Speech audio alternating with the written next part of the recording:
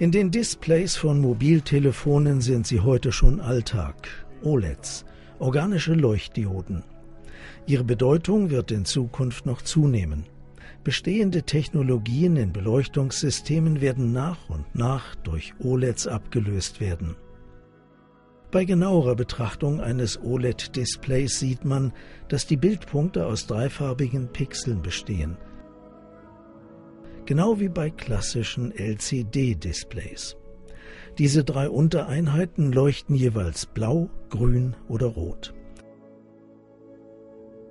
Durch Überlagerung dieser Einheiten werden weitere Farben erzeugt.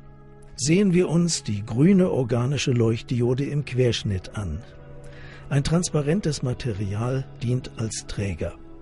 Die einzelnen Schichten werden mit einem Aufdampfungs- oder Druckverfahren aufgebracht.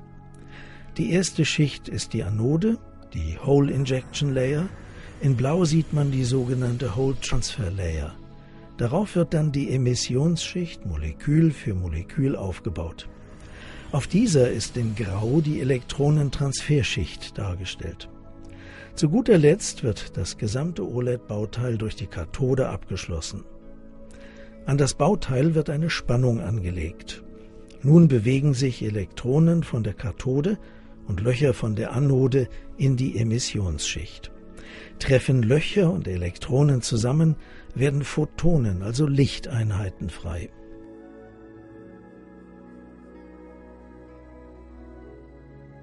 Um eine optimale OLED herzustellen, braucht es, wie in vielen Gebieten der organischen Elektronik, eine Vielzahl experimenteller Anläufe. In zahlreichen Versuchen stellen die Forscher und Entwickler Prototypen her und testen diese, ein zeit- und kostenintensiver Prozess.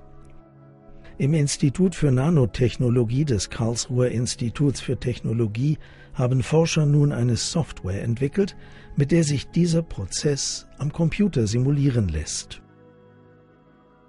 Die Simulationen von Simona werden in Großrechenzentren durchgeführt. Mithilfe der Computerberechnungen suchen die Forscher nach geeigneten Farbstoffmolekülen und optimieren die Materialeigenschaften. Im Vergleich zu den zeitaufwendigen Realexperimenten im Labor ist Simona eine präzise Methode, die Zeit und Geld spart.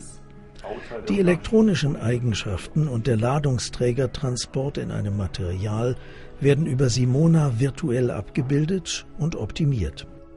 Als Basis dienen hoch aufgelöste Morphologievorhersagen und quantenmechanische Berechnungen links vor der Optimierung, rechts nach der virtuellen Optimierung durch Simona. Die Packungsdichte der Emissionsschicht ist kompakt. Die Ladungsträgermobilität ist hoch und die Quantenausbeute gleichmäßig. Aus der virtuellen Optimierung leiten die Wissenschaftler die Molekülstruktur und wichtige Parameter für die Herstellung der realen OLEDs ab. Mit Hilfe dieser Daten wird dann ein Prototyp erstellt. Die Displays der Zukunft könnten auf formbaren Trägermaterialien gefertigt werden. Das Ergebnis? Flexible, rollbare Bildschirme.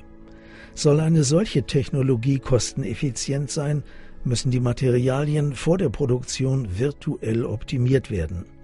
Hier spielt eine Simulationssoftware wie Simona eine Schlüsselrolle.